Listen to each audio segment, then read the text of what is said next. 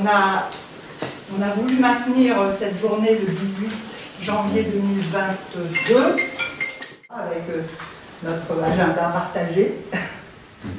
Julie au travail, les, les kinés euh, au travail, donc vous allez pouvoir visiter là tout à l'heure. Nos deux orthophonistes, donc vous voyez les ambiances sont vraiment différentes. Hein. Là, on a encore besoin de mettre un peu de déco, hein, c'est cabinet nos collègues psychologues et psychomotriciennes. Le couloir, je dirais que le couloir est un peu vide. Le, cabinet de médecine générale, là aussi, il va falloir mettre un petit peu de déco, mais on y travaille. Et euh, le bureau de nos infirmières Azalée, Sésame. Et enfin, la salle polyvalente où, nous sommes ici, et donc qui va permettre de faire des réunions des visios, des activités collectives, des ateliers, d'activités physiques, notamment, euh, voilà, kiné l'utilise déjà. Voilà, alors, voilà pour la présentation. Donc, ce, qui serait bien, ça serait que nos collègues, euh, les kinés, psychomotriciennes, psychologues, euh, nous disent quelques mots de, leur activité. Euh. Voilà, place, donc moi je suis Anne-Sophie Lacliche, donc euh, je me suis installée avec Béatrice et avec Aurore. Tout d'abord, bah, je voudrais remercier euh, la dynamique municipale et aussi euh, l'élan de l'équipe médicale et plus largement de la maison de santé. voilà, donc au départ, on a rencontré Leslie avec Béatrice et du coup, a été le point de départ de l'aventure. Du coup, bah, notre projet au départ, c'était vraiment de pouvoir faire bénéficier de notre savoir-faire à la ville des Mureaux. Euh, voilà, et du coup, euh, de pouvoir euh, proposer tout, notre savoir aux patients, leur apporter, enfin, les patients qui étaient isolés, et, pouvoir vraiment diversifier l'offre de soins dans la ville. Bien.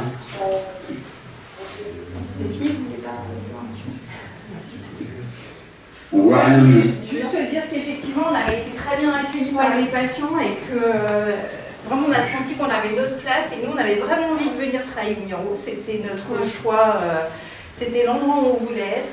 Donc, effectivement, c'est un parcours, parce que s'installer au Miro, il faut trouver l'équipe. Nous, on vient d'un centre de rééducation. Donc, le travail en équipe, comme disait euh, Marie-Hélène, c'est hyper important. On ne peut pas s'imaginer euh, être avec des patients tout seul dans notre coin. Donc, là, vraiment, c'est. Voilà, on a trouvé ce qu'on voulait. Les locaux, ils sont parfait pour nous, il y a de l'espace, c'est hyper important quand on, a accueille des patients de ne pas juste leur permettre une demi-heure de séance. Chez nous, il reste une heure, une heure et demie, parce qu'en plus de la kiné, et on tient vraiment à prendre les gens par demi-heure, qu'ils puissent avoir une activité physique, euh, un temps de récupération, le temps de sociabilisation, il est très important. Tous ces patients qui sont euh, isolés. seuls, ils se retrouvent, ils sont contents, ils ont leur petite conversation euh, hebdomadaire, ils se retrouvent, ils sont contents. Euh, voilà.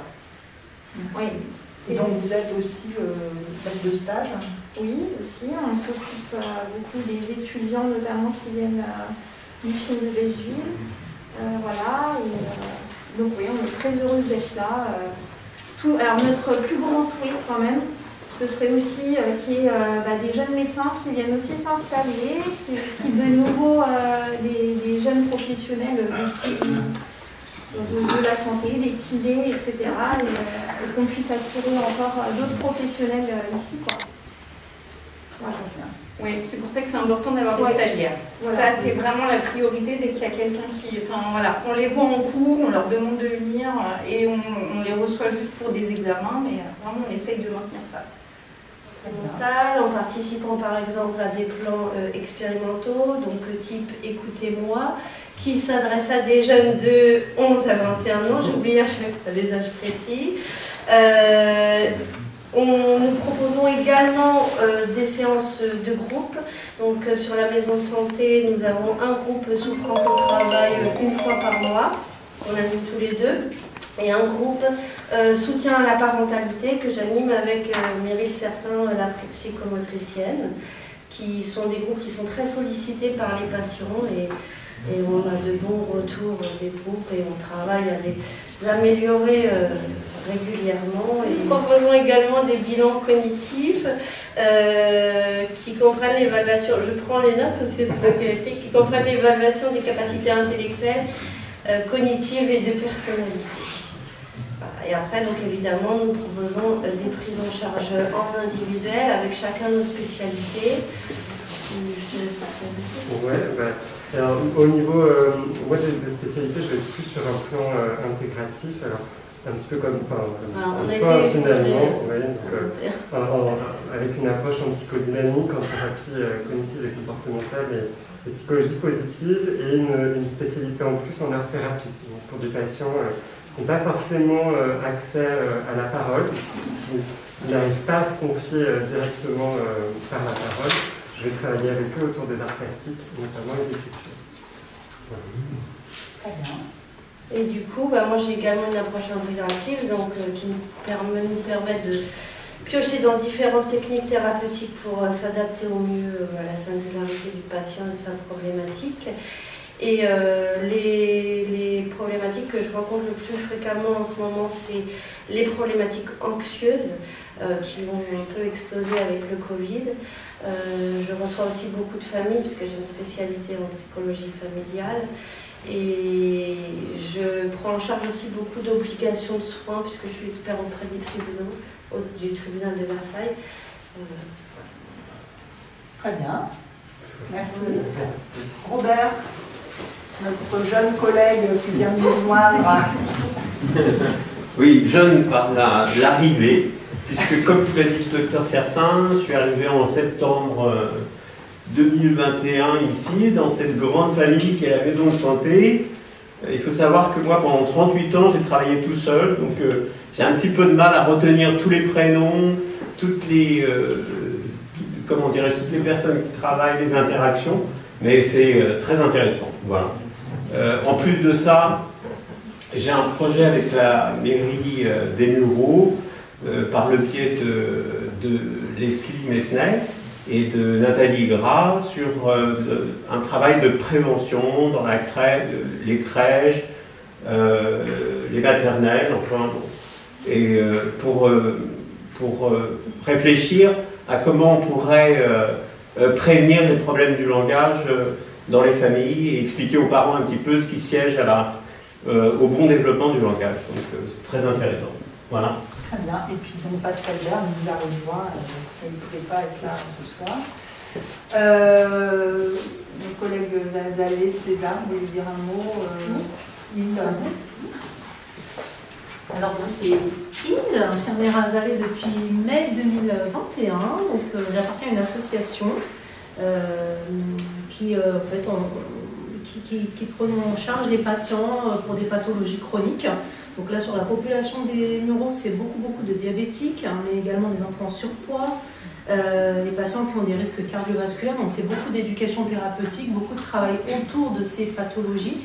Et euh, il y en a énormément. Donc euh, c'est vraiment un plus d'être ici à l'entrée des musiciens, parce que du coup, il y a quand même pas mal de demandes, comme disait Marie-Hélène, les patients qui ont du mal à se déplacer jusqu'au centre-ville, c'est vraiment une opportunité pour eux, c'est un rapprochement géographique. Euh, donc voilà, donc je partage mon temps entre euh, la MSP au centre-ville et euh, ici. et c'est vraiment, vraiment intéressant aussi de travailler avec les skinny qu'on voit à la barre. Et parce qu'on retrouve beaucoup de patients. Du coup, comme je travaille en coopération avec les médecins généralistes uniquement, donc les patients qui, sont suivis par les médecins généralistes de la MSP et qui sont souvent suivis également ici par les kinés.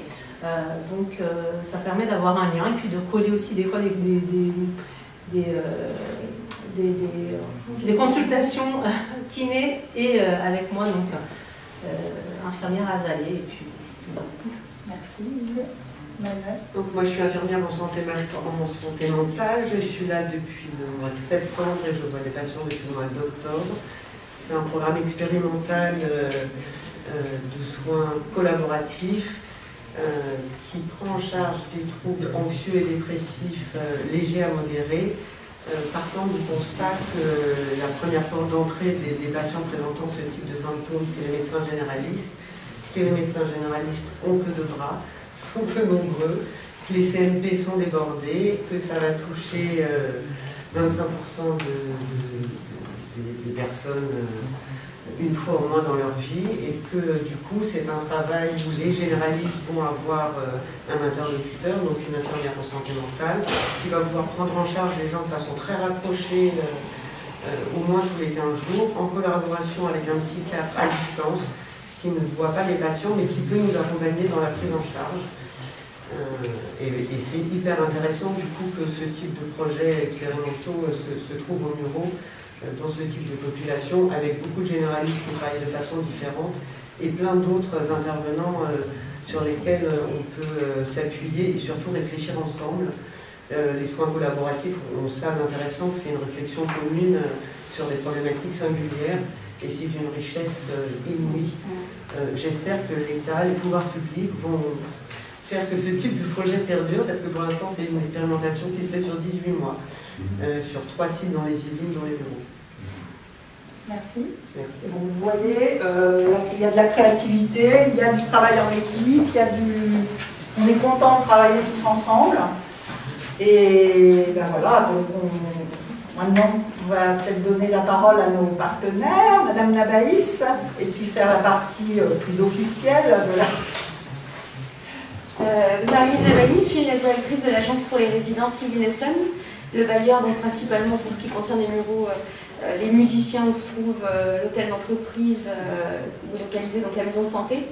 Donc comme vous l'avez dit, docteur Certain, on s'est rencontrés pendant la période du confinement. Ce n'était pas forcément la période la plus adaptée pour travailler sur des projets, mais on, a quand même, on s'est quand même donné les moyens puisque vous l'avez constaté effectivement en, en l'illustrant par des chiffres, mais nos locataires euh, ont effectivement euh, un besoin quotidien d'avoir accès à des soins et de proximité, puisqu'on le constate au quotidien que les problèmes de mobilité et, d'isolement aussi, d'autant plus avec ces périodes, sont, de plus en plus lourds.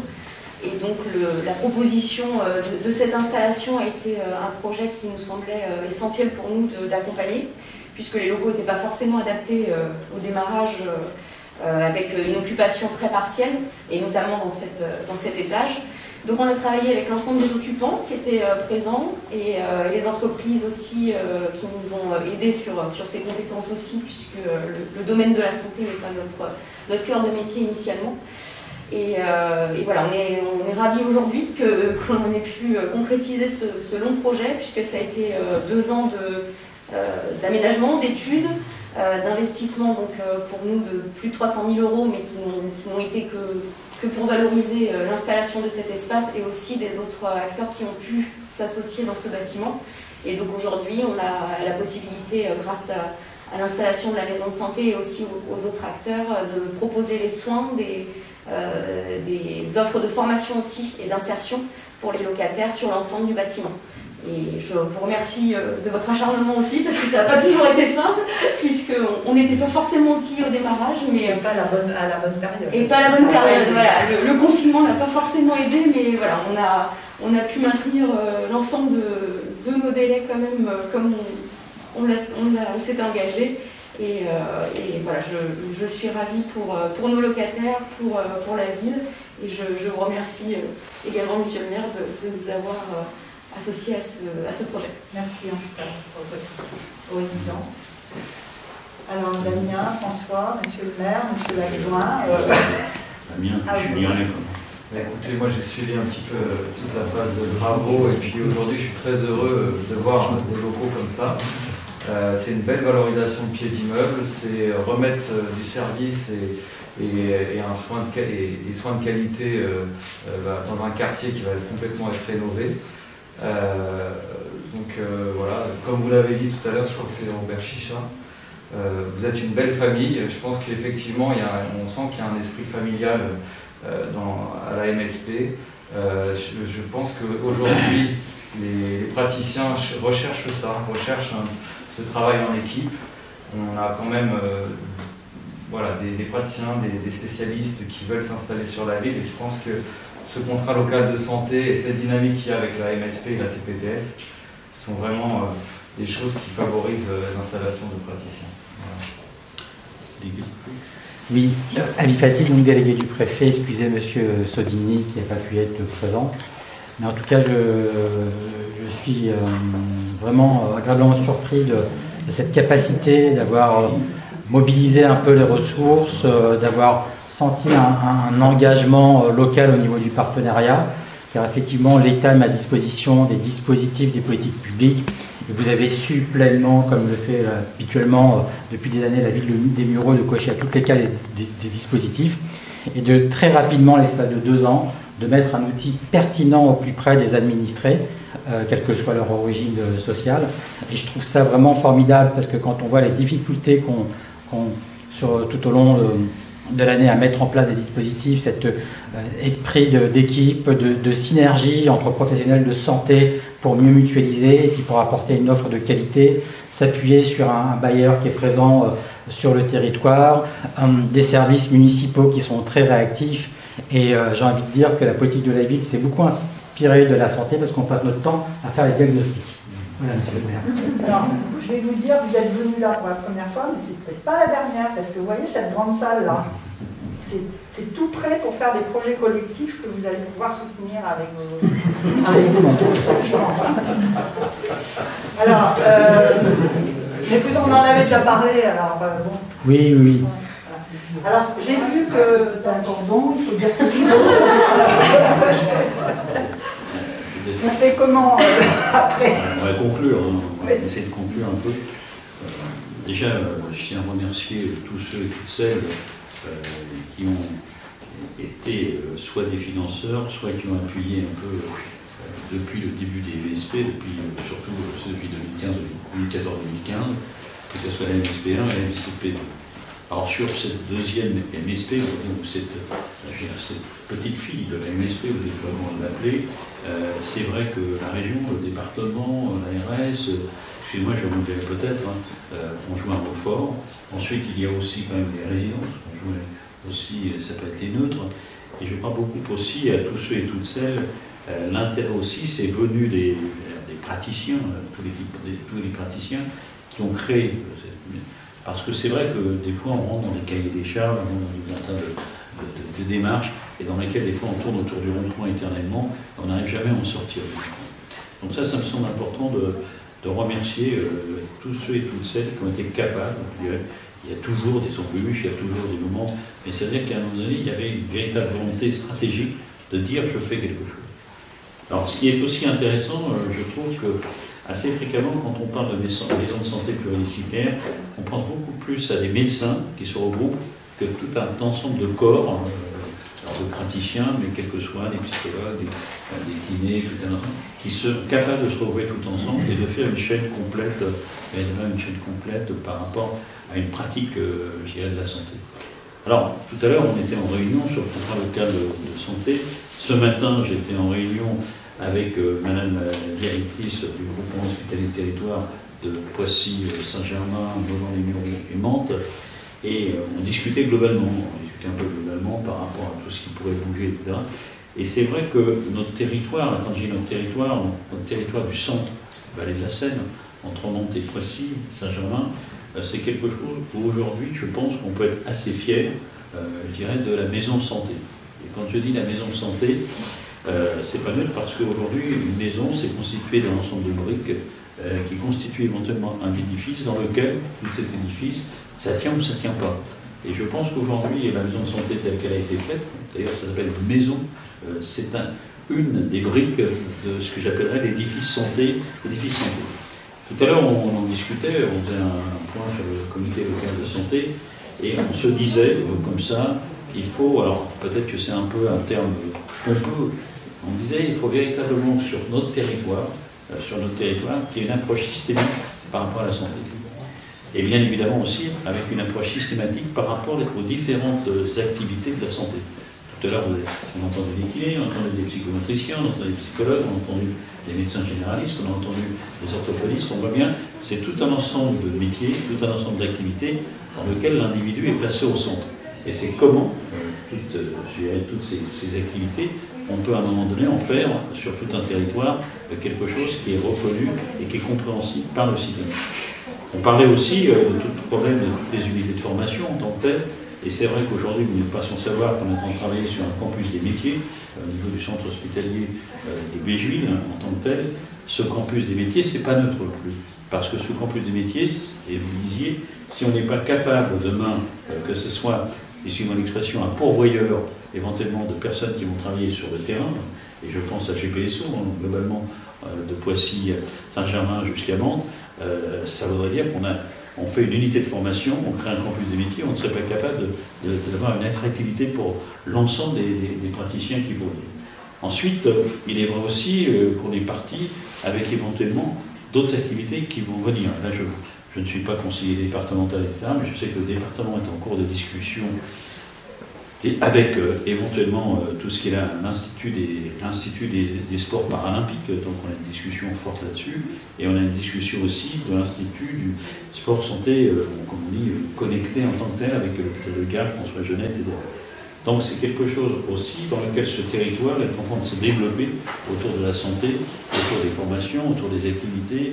Et alors c'est vrai que aussi, c'est une remarque qui nous était faite, c'est vrai qu'on a d'un côté des grandes villes, des, grands territoires, la centralité de Poissy-Saint-Germain, Conflans, Cher. D'un autre côté, il y a Mantes, Mantes-la-Jolie, Mantes-la-Ville, qui est une deuxième, deuxième centralité. Il y a une troisième centralité qui va de Épône jusqu'à Verneuil-Vernouillet avec les deux rives. Et puis aussi toute la ruralité, euh, Vexin, et notamment la ruralité quand on va au-dessus de Mantes, euh, sur Maule, etc. Et il est important que si on veut véritablement travailler la notion de santé, c'est qu'il y ait à la fois des lieux forts, des lieux forts d'activité, comme ici c'est un lieu fort d'activité, parce que quand on parle de la patientèle, il y a une patientèle de proximité, mais il y a aussi une patientèle qui vient d'ailleurs. Et je pense qu'on gagnera dans les quartiers, que ce soit les quartiers, les musiciens, etc., c'est quand on est capable de montrer qu'à la fois on traite le problème de proximité, mais on traite aussi la, question de santé d'autres personnes, d'autres patientèles qui viennent dans le territoire, qui n'ont pas peur du territoire. Et ça, c'est important. Parce qu'à un moment donné, on était trop cloisonné par territoire, on était trop cloisonné par secteur d'activité, par ville, etc. Et donc ça, c'est quelque chose qui est, je pense, le, fait qu'elle soit installée ici, c'est important par rapport à notre activité, et c'est aussi une attractivité par rapport aux habitants quand même. Parce que, alors, à la fois une attractivité par rapport aux habitants qui peuvent considérer qu'ils ne sont pas des zones de relégation, important aussi, parce qu'on parle beaucoup du retour de tout ce qui est service public, c'est pas neutre. Une maison de santé comme celle-ci, c'est le retour quand même au milieu euh, de l'habitation, de ce qui est fondamental pour chacun, c'est un médecin, un praticien au milieu du quartier.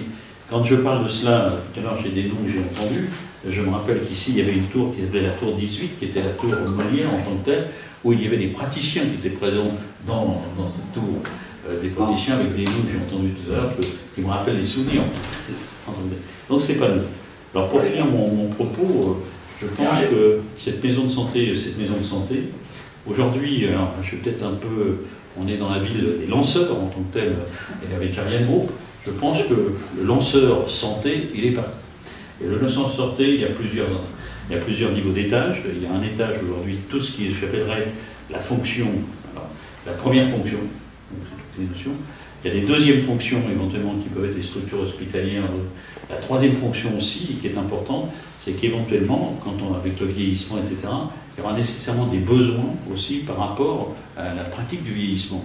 Euh, d'ailleurs, c'est des fois des discussions que l'on a sur euh, le fait que demain, avec euh, le vieillissement, Alzheimer, Parkinson, etc., peut-être, comme on a travaillé beaucoup sur le plus jeune âge, de 0 à 5 ans, peut-être que demain, il faudra travailler sur les 80-100 ans, dans lesquels on travaillera peut-être sur des...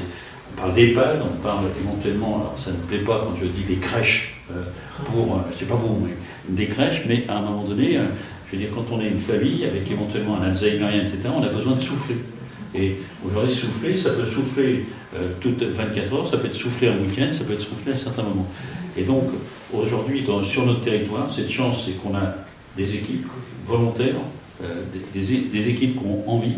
Et c'est vrai que si on arrive, un, à traiter tout ce qui est lié, comme vous le faites aujourd'hui, sur tout ce que j'appellerais le, c'est pas péjoratif, hein, le, niveau 1, le premier étage, c'est vous tous.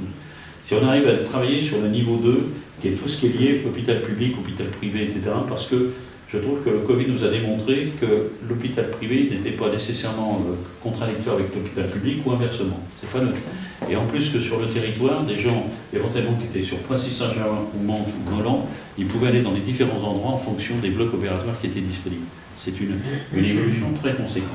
Maintenant aussi, il faudra peut-être que le volet, euh, il y a d'un côté tout ce qui est généraliste, il y a aussi des professionnels autres sur tout un tas d'activités libérales, mais il y a peut-être un travail que l'on devra faire sur euh, justement les fonctions des spécialités. Euh, on parle de cardiologie, on parle d'obstétrique, on parle éventuellement de tout ce qui est, je veux dire, il y a plein d'autres métiers, hein.